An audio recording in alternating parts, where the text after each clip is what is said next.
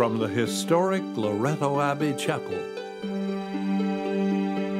With the kind cooperation of the Toronto Catholic District School Board, the National Catholic Broadcasting Council presents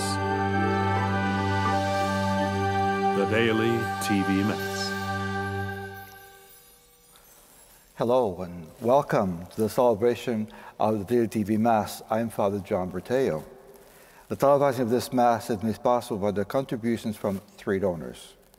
The first is an anonymous donor from Guelph, Ontario, in loving memory of her parents, grandparents, brothers, and her friend Jean. The second is John O'Connor and family from Oliver, British Columbia, in thanksgiving for blessings received and in memory of Jenny, loving wife and mother who died on August 21, 2017.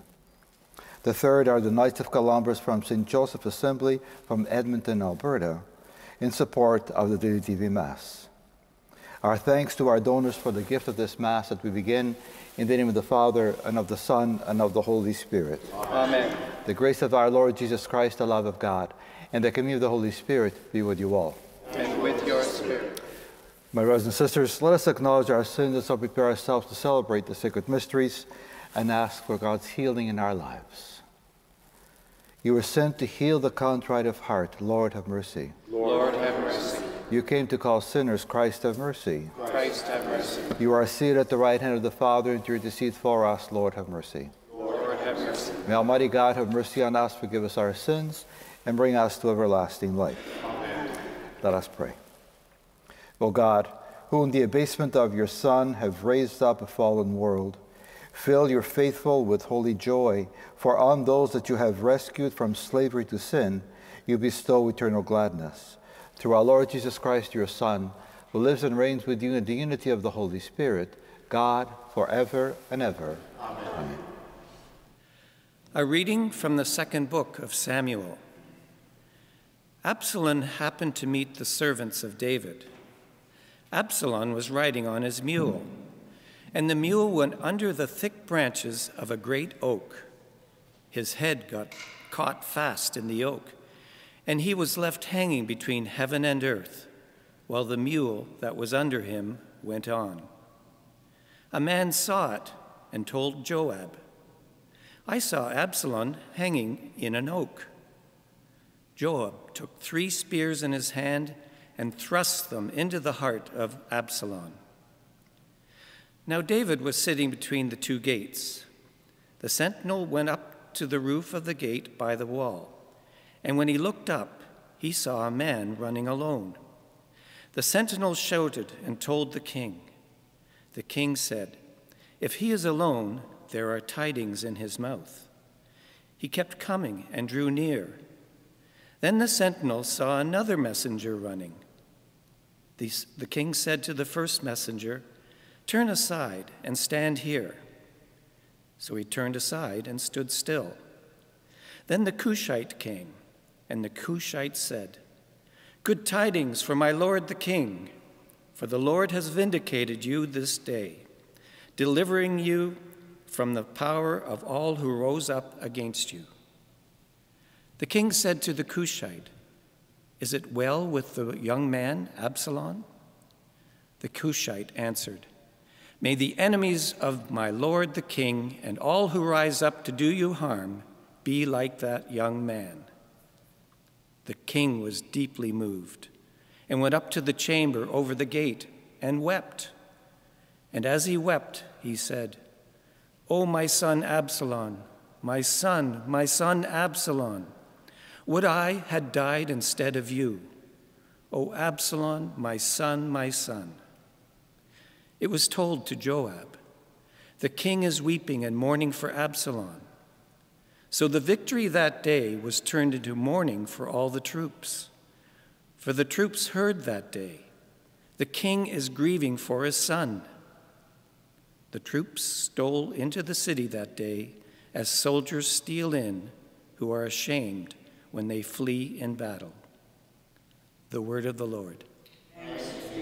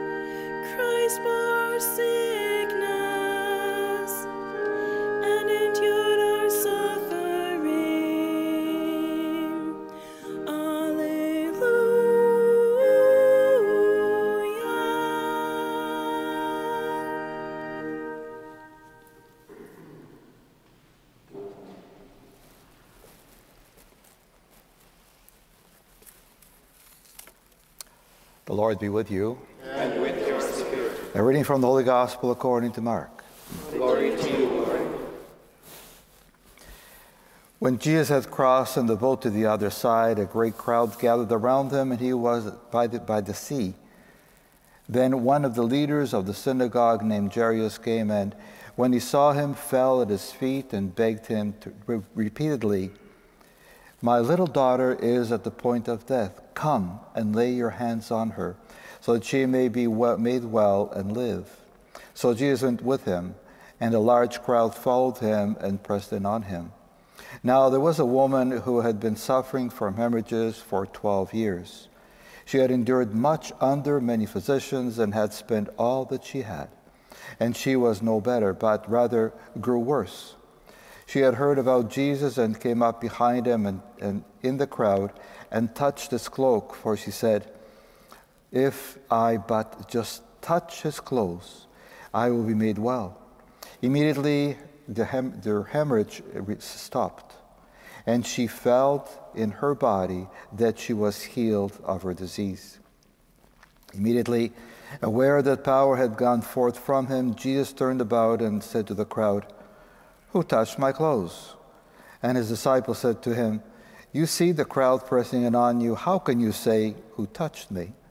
He looked all around to see who had done it. But the woman, knowing who had, what had happened to her, came in fear and trembling, fell down before him, and told him the whole truth. He said to her, Daughter, your faith has made you well. Go in peace and be healed of your disease. While Jesus was still speaking, some people came from the leader's house to say, Your daughter is dead. Your trouble, why trouble the teacher any further? But over, over, overhearing what they said, Jesus said to the leader of the synagogue, Do not fear, only believe. He allowed no one to follow him except Peter, James, and John, the brother of James. When they came to the house of the leader of the synagogue, Jesus saw a, co- a commotion, people weeping and wailing loudly. When Jesus had entered, he said to them, Why are you making a commotion and weep? The child is not dead, but sleeping. And they laughed at him. Then he put them all outside and took the child's father and mother and those who were with him and went in with the child where the child was. He took her by the hand and said to her, Talitha cum, which means, Little girl, get up. And immediately the girl got up and began to walk about. She was about 12 years of age. At this, they were overcome with amazement. Jesus strictly ordered them not to, not to tell no one uh, that this. Jesus strictly ordered them to that no one should know of this, and told them to give her something to eat. The Gospel of the Lord. Praise, to you, Lord. Jesus Christ. Long, but beautiful. Sometimes I get the tongue twisted with all the beautiful words, but uh, I, I think you sort of got the message. And if you didn't, here's just a little brief, just a little brief of the beautiful readings we just heard. So I ask you, have you, during any time in your life, have you been asking God for something in particular, such as a healing, a healing for a loved one, or perhaps even for yourself? Today's readings then offer proof that the healing power of God is very real and it's still around us today. So I share with you a short reflection from one of my sources. And I quote Today we hear a great story of faith. A woman with a hemorrhage whose name we do not know. She approaches Jesus with a need and the faith that she can heal. She approaches in secret, but receives the healing she seeks in secret, so nobody really knew. So we ought to be inspired as well in our own lives by the testimony of how our faith can make us well. Faith, very, very key. Faith to make us well. We uh, may not all receive a physical healing, and that's really important to remember. But when we approach our Heavenly Father uh, with our needs and petitions, He hears and answers us, especially when it's for someone else. And we hear so many saints through our lifetimes praying for others, not for themselves, but for others, for them, for the Lord to intercede with them, and many, many of them got healed.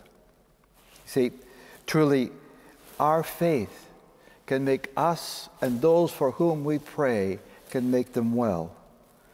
Believe, really believe, and be surprised. From my childhood, I was always taught by my parents, God bless them, that I should believe in the truly presence of Jesus in the Blessed Sacrament. And practicing that over the years and over and over the years, it more and more and more do I believe, and I speak about it openly about the really true presence of God. And of course, every time I celebrate the Eucharist, or every time I attend the Eucharist, wherever I might be, I always pray, especially when the priest raises the Blessed Sacrament. I always pray the words of St. Thomas, my Lord and my God. And I, in addition to that, I ask him, Lord, I believe. Heal my unbelief. Because I'd love to believe a thousand percent if there's such a thing. But I want him to heal my little bit of unbelief so that I might have total, complete, and unquestionable faith. Dear friends in Christ, for us, our faith is not perfect. Welcome aboard. But if we allow it, it can be improved. It can grow provided that we are open to it. And God is prepared to heal us, whether it's physical or otherwise. And again, for those we pray for,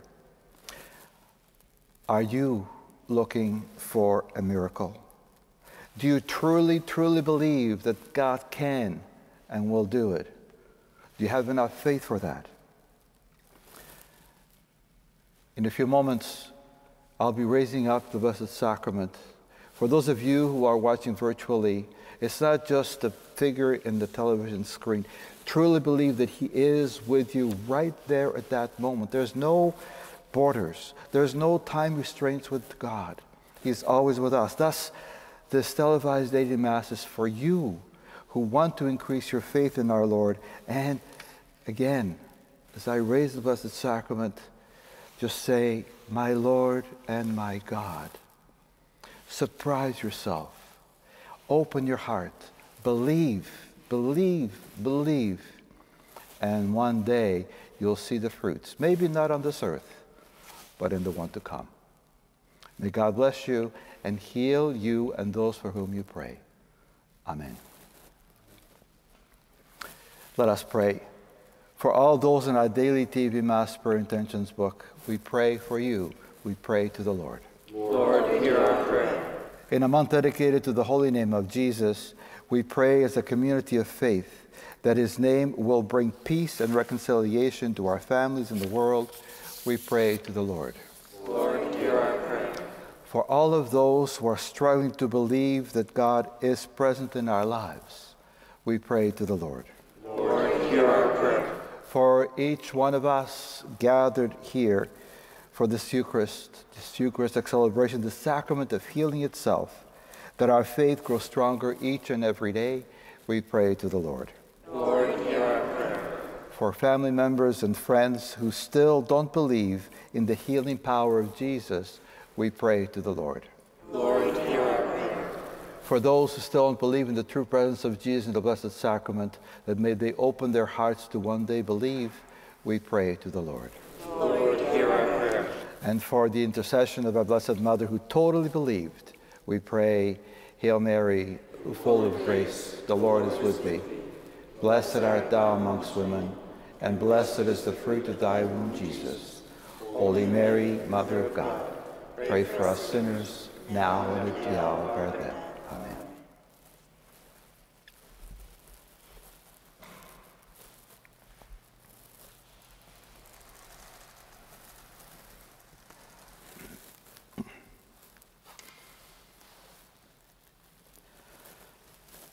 Blessed are you, Lord God of all creation. For you goodness receive the bread we offer you, fruit of the earth and work of human hands, it will become for us the bread of life. Blessed be God forever. To the mystery of this water and wine, may we come to share in the divinity of Christ, who humbled himself to share in our humanity.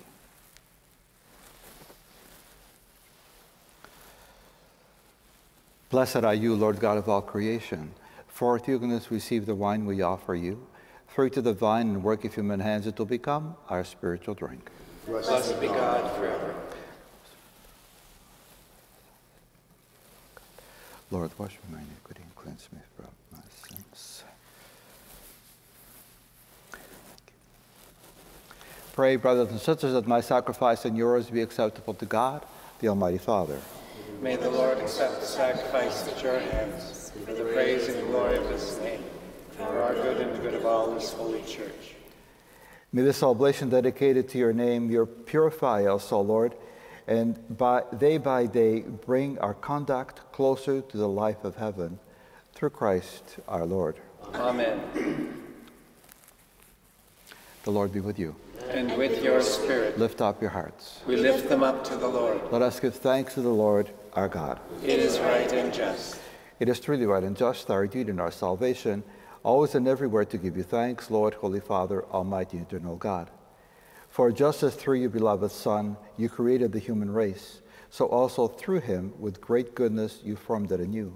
And so it is right that all your creatures serve you, and all the redeemed praise you, and all your saints with one heart bless you. Therefore, we too exalt you with all the angels, as in joyful celebration we acclaim.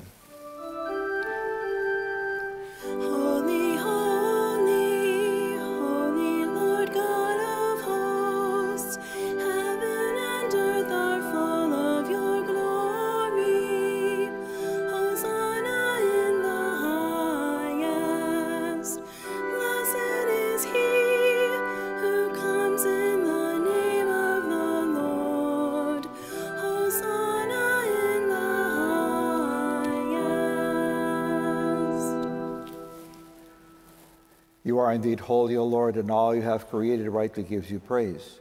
For through your Son, our Lord Jesus Christ, by the power and working of the Holy Spirit, you give life to all things and make them holy, and you never cease to gather people to yourself, so that from the rising of the sun to its setting, a pure sacrifice may be offered to your name. Therefore, Lord, we humbly implore you, by the same Spirit, graciously make all these gifts we have brought you for consecration, that they may become the body and blood of your Son, our Lord Jesus Christ, at whose command we celebrate these mysteries. For on the night he was betrayed, he himself took bread, and giving you thanks, he said the blessing, broke the bread, and gave it to his disciples, saying, Take this, all of you, and eat of it, for this is my body, which will be given up for you.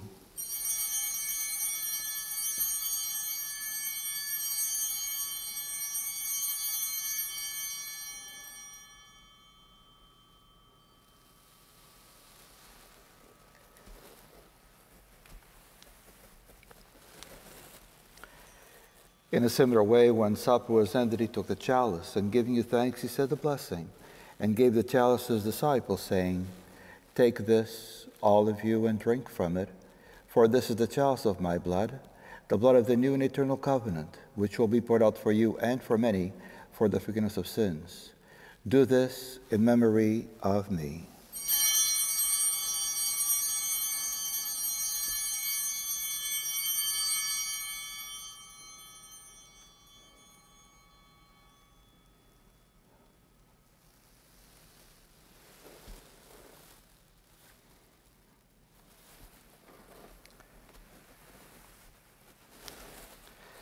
The mystery of faith. We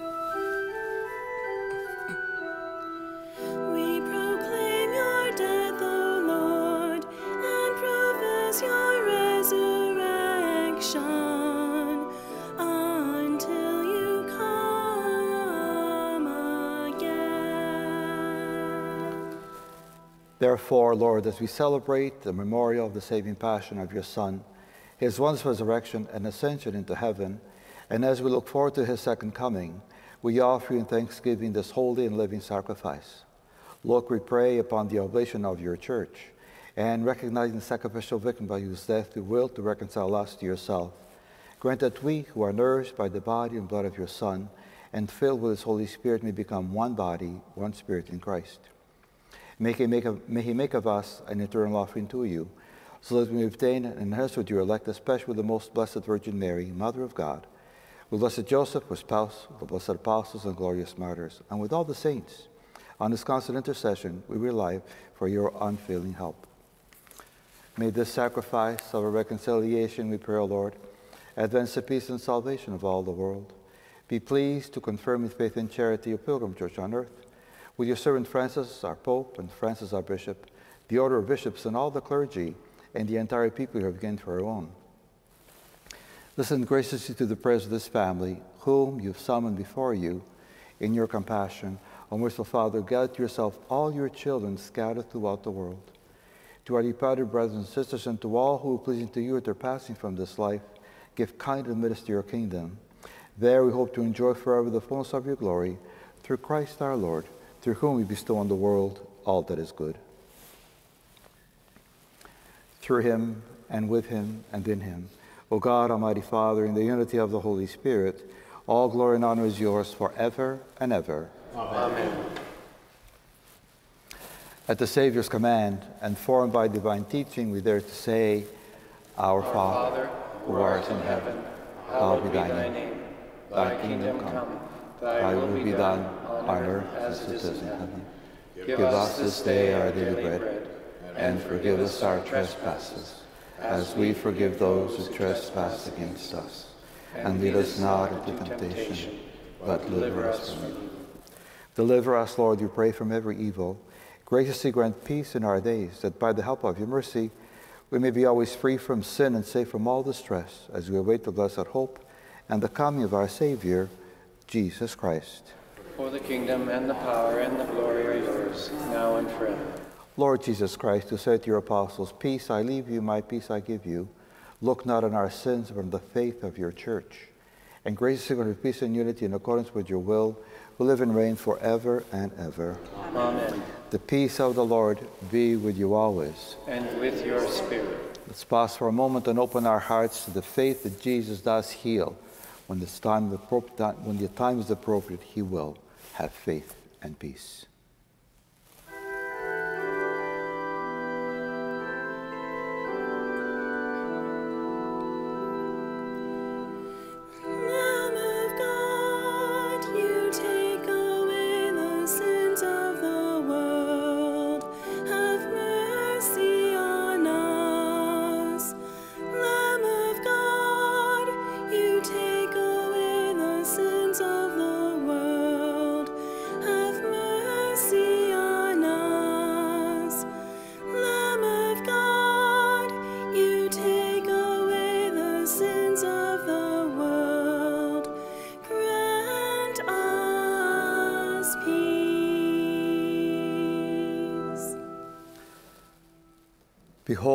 Of God.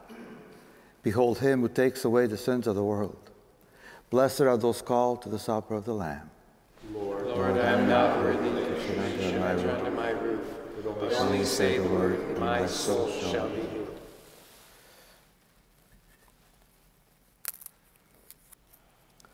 May the body of Christ meet to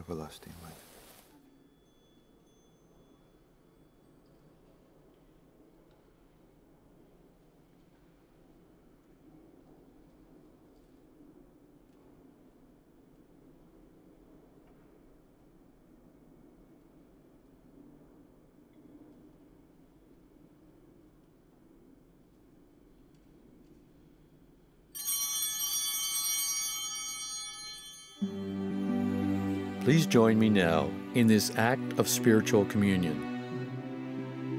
My Jesus, I believe that you are present in this holy sacrament of the altar. I love you above all things, and I passionately desire to receive you into my soul. Since I cannot now receive you sacramentally, come spiritually into my soul so that I may unite myself wholly to you, now and forever. Amen.